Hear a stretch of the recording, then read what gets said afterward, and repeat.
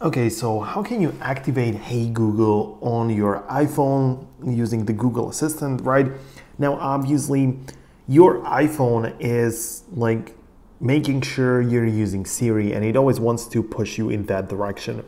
However, in case you want to be make it a little bit more accessible, you can also just approach it from a different angle, right? You can, for example, create a shortcut which is going to trigger get or get triggered using, for example, the action button or some kind of phrase or something, right?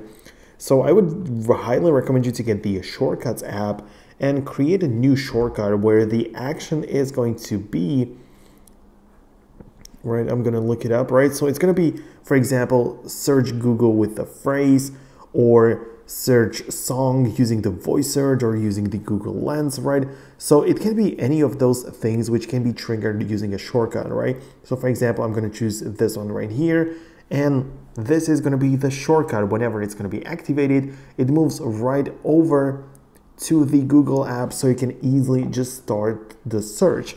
And right now you can use this shortcut as and make it activated using the action button, for example. Or you can activate it using your voice, or you can also just create an automation that when something happens or when I don't know whatever like you get a text message you connect to Wi-Fi when you open up a specific app when you enable some of the uh, stuff you can also just automate it using the sound recognition which is a little bit more advanced right so you can choose some different sounds right and that's how you can just set it up, right? But the important part is that you set up a shortcut which can be triggered for multiple different ways, right? So that's how you can also like get a little bit closer to the Google Assistant instead of using Siri. But keep in mind that holding on the side button or activating and using your voice directly, it's not going to be possible on an iPhone.